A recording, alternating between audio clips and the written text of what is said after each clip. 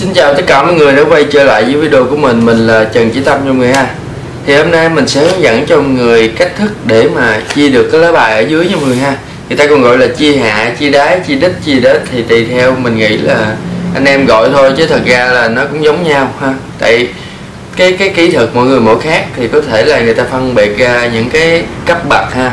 Còn như theo mình thấy thì nó cũng giống giống nhau thôi thì những cái mình hướng dẫn thì không phải gọi là hay hoặc là số 1 hay gì hết.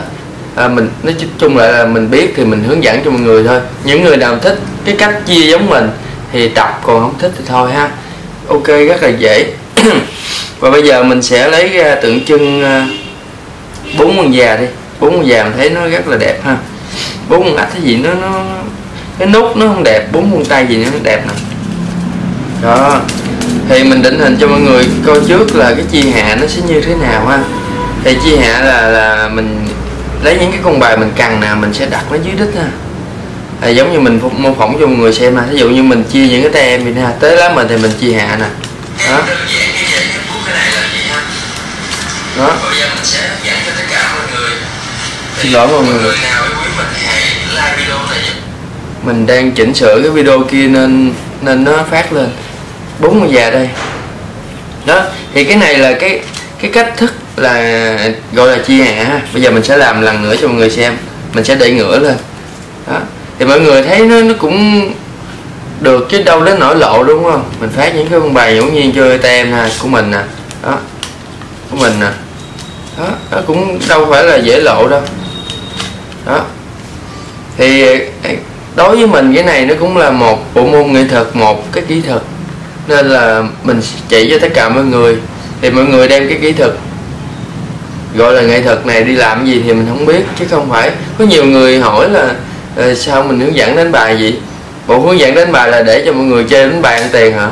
Hướng dẫn đánh bài là cho mọi người có cái kiến thức về đánh bài, là về về cũng gọi là nghệ thuật. Mình học được cái gì đó mà, tại vì về cái đánh bài này nó thiên về cái logic, về cái tính toán.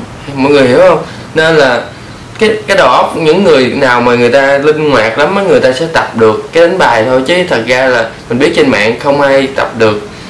Khó lắm. Chứ đâu phải là nói cái này là chỉ cho mọi người, cái mọi người đi vô đánh ăn gian người ta hay là vô lừa đảo người ta được liền. Không phải như vậy nữa. Cái này gọi gọi gọi là một cái bộ môn nghệ thuật thôi. Ai đam mê ta sẽ tự ác người ta học. Đó. thì trước tiên mình muốn chia hạ là mình phải cầm bài như thế nào. Thì à, chia hạ kiểu như mà như vậy á, thì mình sẽ cầm vậy ha. Mình rút những cái con bài dưới ra vậy. Đó. Nhưng mà mình thì không có quen cái cách đó. Chia cũng được nhưng mà nó dấp lắm. Nên là cách chia hạ của mình là ưa cầm như nè cầm cơ bản á gọi là phổ thông á. Thì tại vì ai cũng cầm vậy hết nên mình cầm vậy. Đó. Thì mình sẽ đẩy bộ bài hơi lại ra chút xíu nữa ha. Đó. Thì cái ngón này nó sẽ đặt trên đây còn ba ngón kia nó sẽ ôm liền cái bằng phần hông bên đây ha. À, mọi người thấy ở đây nó có mọi người đừng có cầm sát xuống vậy ha cầm sát xuống vậy thì cái chỗ này nó nó, nó không có rút ra được. Mọi người cầm nhẹ thôi. Cầm nhẹ mà cho cái phần dưới đây nè. Dưới cái phần à, chỗ này của mình nè. Ha rất là chống luôn nha. Mọi người có thể đút hai ba ngón tay vô luôn nè ha. Đó để khi á khi mình dùng cái ngón giữa này mình đẩy quân bài này ra vậy nè rất là nhẹ ra vậy nè. Đó mọi người sẽ rút ra được. Nó là gì ha.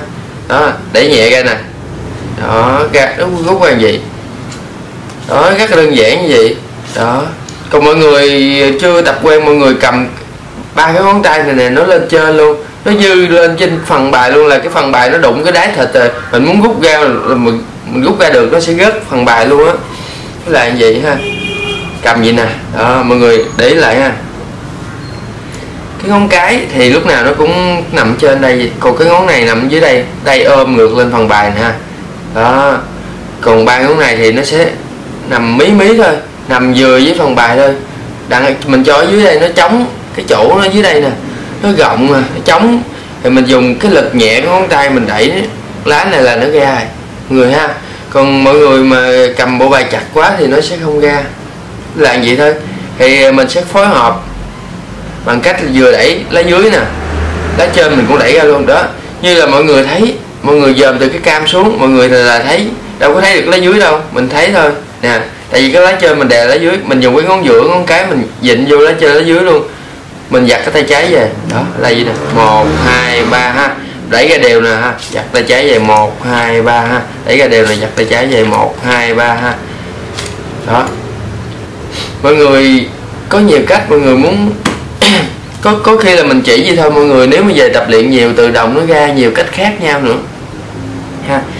Lúc nào mình cũng phải đẩy một bài lại ra xíu cho nó dễ hết. Theo như cái cảm nhận của mình là gì á chứ trước giờ mình không có uh, thấy người ta chi thấy người ta làm. Giống như mình có coi ở cái công thức này ở đâu đó rồi mà mình không quên đi mình không nhớ. Nên đó là là mình cũng không có làm cho đúng với ở trong cái mà hướng dẫn nữa đó. Nên bây giờ mình hướng dẫn lại là mình hướng dẫn những cái cách mà mình biết thôi ha. Những cái cách mà mình thấy nó hay thôi. Đó, bốn quân dưới ha. Đây, mình đẩy bộ bài lại ra, cầm như mình ha. Ngón này ở đây, ba ngón này ở đây, ngón cái đây ha. Thì mình sẽ chia những cái tụ này ha. Tới cái lá của mình nè, mình đẩy ra. Giật cái tay về ha. Là về một, hai, ba. Nhẹ nhàng nè. Đó. Một, hai, ba. Nhẹ nhàng. Một, hai, ba đó nói chung là cũng đơn giản thôi nhưng mà mọi người phải kiên trì để tập chứ không phải là là, là tập sẽ được nha mọi người ha. Đôi khi là tập một cái kỹ thuật uh, trong cái bộ môn nghệ thuật này có thể là mất tới 3 tháng đến 5 tháng mọi người mới làm được. Chứ không phải là bữa nay coi clip mà mai làm được đâu cái đó là chắc thứ dữ cho mấy người ta nha mọi người ha. Đó rất đơn giản. Thì à, mình dùng ngón giữa mình dùng cái ngón này nè để đẩy ra thì ờ, ở trên ở, ở bên nước ngoài á, người ta không có dùng ngón này mà ta dùng hai ngón ngón dưới đây ha. Thì người ta sẽ ôm cái ngón giữa lên luôn. Ôm cái ngón giữa lên lên cái cạnh này nè. Cái cạnh này. Đó. Thì ờ, hai ngón này là để không cho người ha. Đó. Thì thì nó kín hơn tại vì nó cái ngón cái ngón giữa này nó che cái góc này. Thì mọi mọi người xong không thấy được cái ngón giữa đẩy ra mình thử lên cho mọi người xem nè. Một nè hai nè ba ha. Dùng hai ngón này đẩy dưới ra nè đó.